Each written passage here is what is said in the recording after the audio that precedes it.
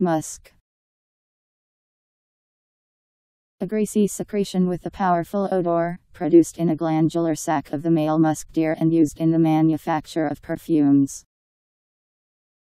A similar secretion produced by the otter and the civet. A synthetic organic compound used as a substitute for the above. M